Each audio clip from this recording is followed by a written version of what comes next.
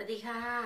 พี่พี่เพื่อนเพื่อนๆเดี๋ยววันนี้เราไปทำข้าวมันไก่กันนะคะ วิธีทำน้ำซุปก๋วยเตี๋ยวไก่กับน้ำซุปข้าวมันไก่เอบอกไปแล้วนะคะ เอบอกไปคลิปก่อนๆถ้าใครเพิ่งจะมาดูคลิปนี้ก็บอกเอนะคะเดี๋ยวเอเอาลิงก์มาแปะให้นะคะ เดี๋ยวมาดู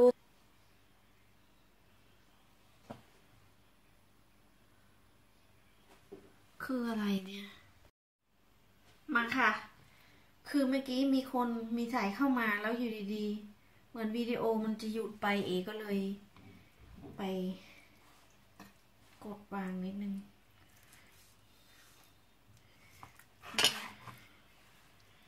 นะคะโอ้ย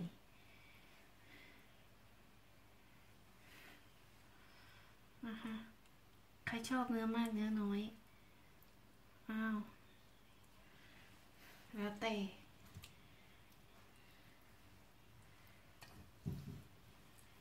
ตามใจเลยนะ เอาแค่นี้แหละกินมากเดี๋ยวไขมันอุดตัน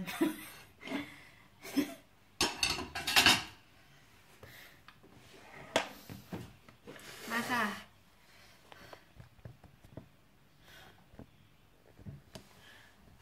มาดูกันนะคะ นี่คือข้าวมันไก่นะคะ ข้าวมันไก่ ที่เรา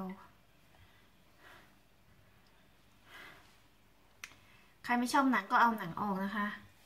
ใครชอบหนังบ้างก็ไว้หนังนิดๆหน่อยๆ ก็ได้นะคะเพื่อนนะแป๊บนึงนะล้างมือก่อน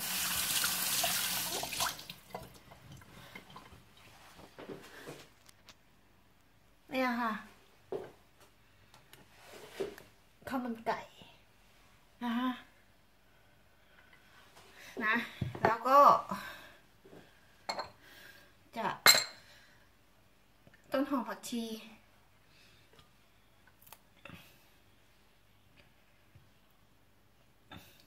แล้วแต่เลยนะคะจะโรยตรงไหนก็ได้ เพราะเขาเรียกผักชีโรยหน้าใช่ไหมก็แล้วแต่ นะคะถ้วยเองมันจะใหญ่ไปอะถ้วยน้ำจิ้มนะคะถ้วยน้ำจิ้มเอแต่ขอตักถ้วยน้ำซุปนิดหนึ่งก่อนนะคะถ้วยน้ำซุปนิดหนึ่งน้ำซุปเอาวางไว้ตรงนี้ค่ะ นี่คือน้ำซุปนะคะ นี่คือน้ำซุป ขออนุญาตนะเราก็ใส่นี่ลงไป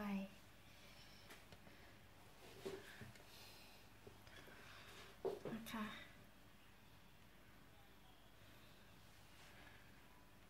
แล้วก็น้ำจิ้มหาถ้วยเล็กๆไม่มีอะ จิ้มอะมันมีแต่ถ้วยใหญ่ๆ แล้วมันจะ ไม่มีที่วางะค่ะคุณคะ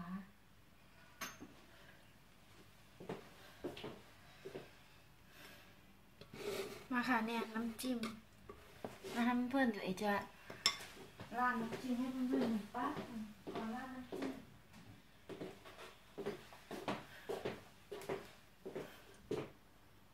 ขอถ่ายรูป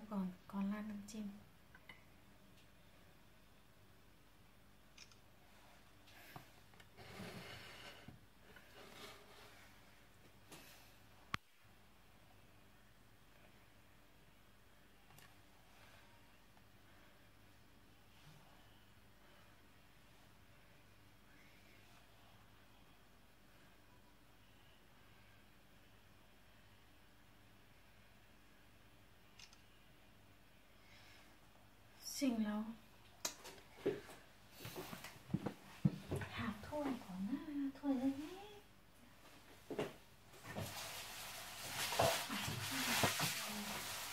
น้จิ้มกระทรวงของโรงอาหารอะจะมีถ้วย ใส่ซูชิของลุงฮันเขาจะใช้มา น้ำจิ้มไก่นะคะเพื่อนๆด้วยลุงฮันแกแกจะใช้น้ำจิ้มไก่นะคะน้ำจิ้มไก่หมายถึงว่า ใครไม่กินเผ็ดนะ เนี่ยใส่น้ำใช้ใช้น้ำจิ้มแบบนี้นะคะ ใช้น้ำจิ้มแบบนี้ถ้าใครไม่กินเผ็ดนะคะ ใช้เนี่ยจะบอกใช้น้ำจิ้มแบบนี้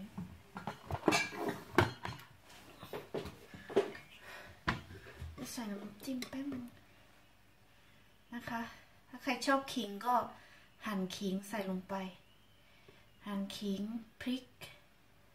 กระเทียมเนี่ยค่ะ ใส่ลงไป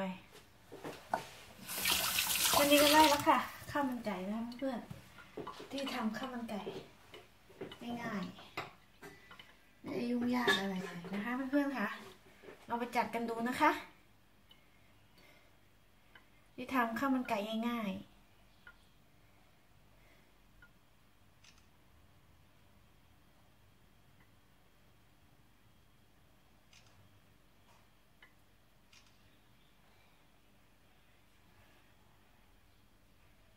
เราจะราดน้ำจิ้มแล้วนะ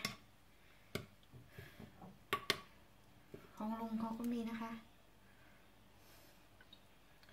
ถ้าเราคิดจะราดเราก็ราดได้ นะคะราดตำล่องเขาเลย ใครชอบอือหือเอ๋ชอบขิงนะคะขิงแล้วก็พริกเยอะๆอะไรอย่างเงี้ยแซ่บมากขอบอก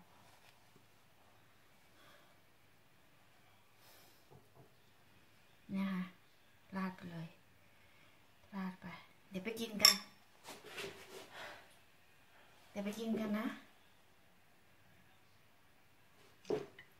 นะคะหูไป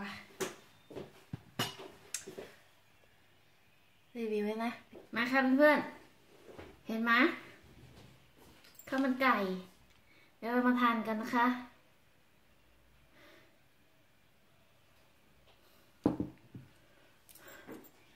มาค่ะ เสร็จแล้ว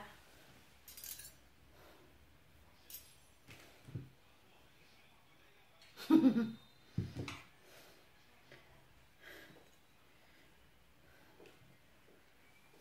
งฮันก็เดินมาบอกน่ากินมากเลย เอากินทีหลัง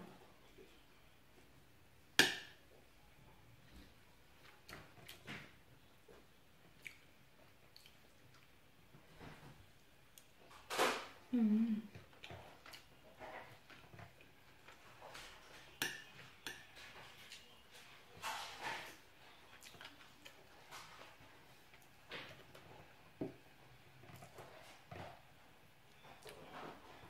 พริกสดๆนะเนาะ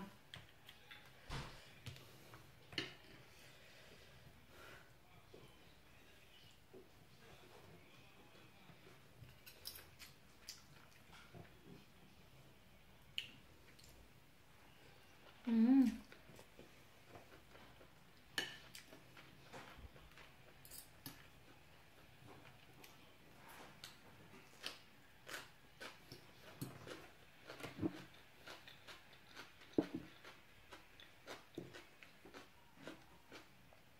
ืม น้ำจิ้ม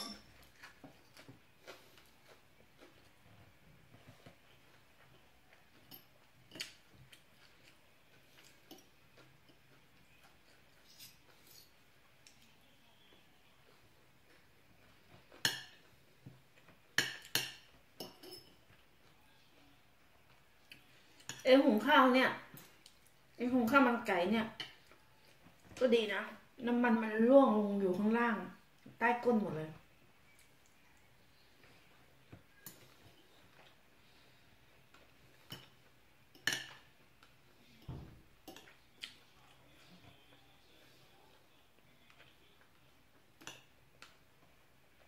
ซึ่งถ้าใครอยากใส่มันๆนะ แนะนำว่าให้เจียว ใส่น้ำมันลงไปเยอะๆ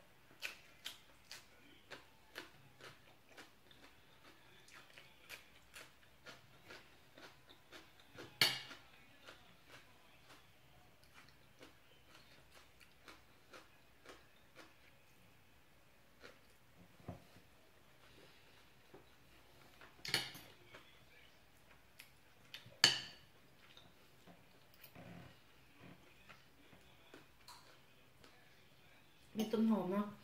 ต้นหอมเราก็มี แค่นี้เราก็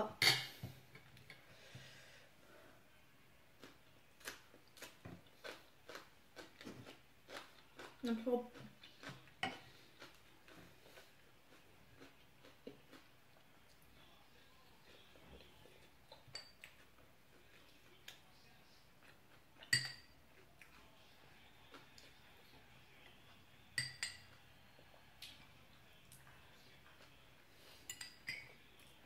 ก๋วยเตี๋ยวไก่ได้ข้าวมันไก่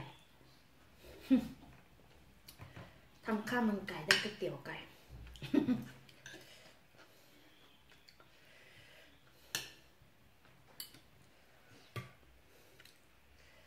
เลิศค่ะ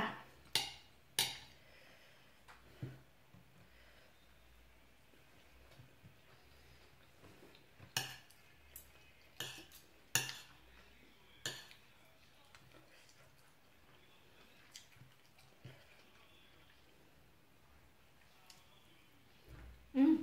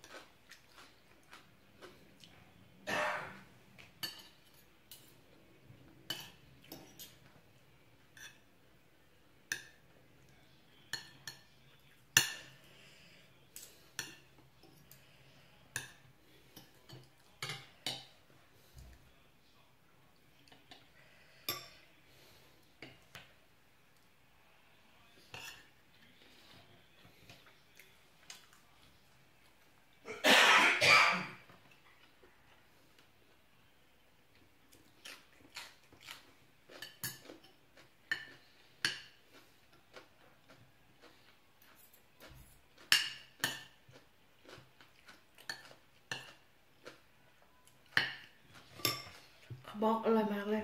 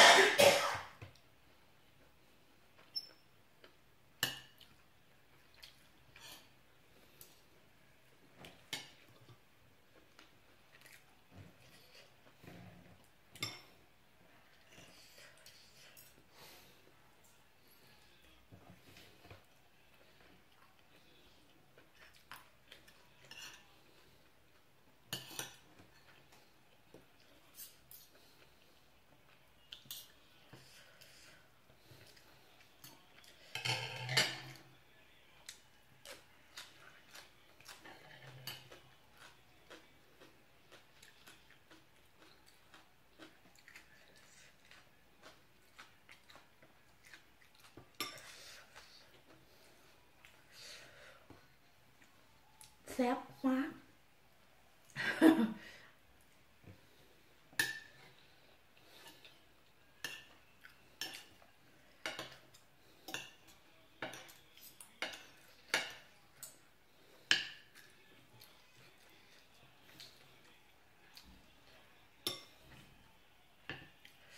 เราใส่ถ้วยข้าว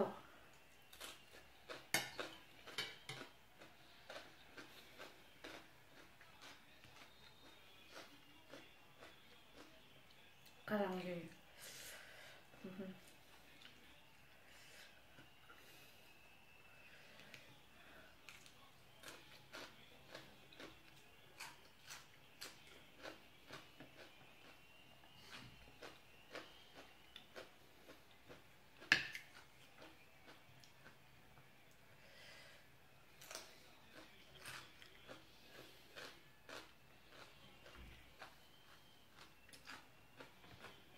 มีน้องบอกเจ๊เล่าเรื่องผีให้ฟังหน่อยนี่ไงผีออกอารวาสทุกวันเธอไม่ต้องไปดูผีที่ไหนหรอกนี่ไงนี่ไงผี มันไม่มีเรื่องให้เล่า เพราะว่าเราเคยเจอ เราบอกว่าเราเคยเจอ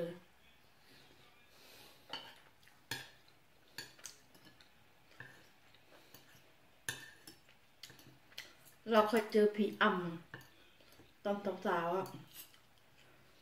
เราเคยออนสวนเล่าไปเทปเก่าๆอะ เราออนไปเล่าไปตั้งนานแล้วแค่มีแค่นั้นแหละแล้วก็มีการจำได้ว่าป้าป้ามามาลุงแก ซื้อไอโฟน 4S มาใหม่เลย พยายามถ่ายรูปที่สุสาน ถ่ายเท่าไหร่ก็ถ่ายไม่ได้เหมือนประมาณว่าเขาไม่ให้ถ่ายสถานที่นี้อะไรเงี้ย ตั้งแต่นั้นมาเราก็จะไม่ถ่ายสุสานจะไม่ถ่ายอะไรเลย เพราะว่า มันเป็นไปไม่ได้ sorry มันเป็นไปไม่ได้ที่ที่เราเอ่อจะถ่ายรูปไม่ได้นึกออกปะเรากดถ่ายเท่าไหร่เรากดถ่ายไม่ได้ ตอนเรามาที่เมืองนอกเหมืองแม่นะ ลุงก็ซื้อ iPhone 4S ให้ แล้วทีนี้เราก็ไปสุสานไปไหว้พ่อแม่ลุงฮันไหว้เสร็จเราก็ถ่ายรูป เราไม่ได้ถ่ายรูปตัวเราเองนะ เราแค่ถ่ายรูปสุสานคือถ่ายเข้าไปข้างในบรรยากาศข้างในอะเราไม่ใช่แม่เราไม่ได้มาเซลฟี่ตัวเองอะไรอย่างนี้ไม่ใช่นะ คือเราถ่ายบรรยากาศข้างในว่าเออนี่เราจะถ่ายให้เพื่อนเราดูว่าเฮ้ยสุสานเมืองนอกเออป่าช้าเมืองนอกมันเป็นอย่างนี้อะไรเงี้ยเรากดถ่ายเท่าไหร่ก็ถ่ายไม่ได้ นะคะเพื่อนๆซึ่งณตอนนั้นเราขนลุกสู้เลย วัดกดเท่าไหร่ก็กดไม่ได้ ถ่ายกดแบบคือคือมันไปที่โปรแกรมคาเมล่าแล้วมันกดถ่ายแล้วมันกดไม่ไปอะนึกออกปะออกมาตั้งหลายครั้ง กดเข้าอีกตั้งหลายครั้งก็กดไม่ไป พอลุงฮันถอยรถออกจากสื่อสารได้ประมาณหนึ่งนาทีเท่านั้นอะเรากดใหม่ ถ่ายรอบข้าง ถ่ายบริเวณทุ่งนาทุ่งหญ้ารอบข้าง แต่ดันกลับถ่ายได้ อันนี้ก็เป็นความเชื่อส่วนบุคคลนะคะ ไม่เชื่ออย่าลบหลู่ตั้งแต่นั้นมาเลยเราก็ไม่อยากจะไปยุ่ง เราไม่อยากไปถ่ายสิ่งที่เขาลี้ลับหรืออะไร อันนี้มันเป็นแบบประสบการณ์ส่วนตัวนะคะเพื่อนๆนะเราก็จะมีเรื่องแบบผีอำอะไรเงี้ยเอเคยบอกเล่าบอกเพื่อนๆแล้วว่าตอนสมัยสาวๆเอโดนผีอำกระโดดวีบคนะคะ แล้วก็เคยเล่าเรื่องว่า เออ เรื่องมีคนผูกคอตายทั้งทั้งท้องกลมอะไรเงี้ยที่บ้านอะไรเงี้ย แถวแถวบ้าน แถวแถวคนละหมู่บ้านกันนั่นแหละ มีคนผูกคอตายทั้งท้องกลมอะไร แล้วก็ร้องให้รองเมนอะไรอย่างเงี้ย อืมก็เคยเล่าไปแล้วแหละเคยเล่าไป ตั้งแต่สมัยนู่นนะปีที่แล้วเพื่อนๆย้อนไปดูออนสดเอานะเพราะว่าจะไม่ให้เราตอนนี้เดี๋ยวก็ลืมละนะคะ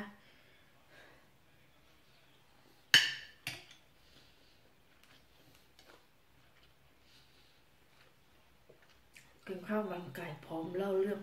สยองขวัญ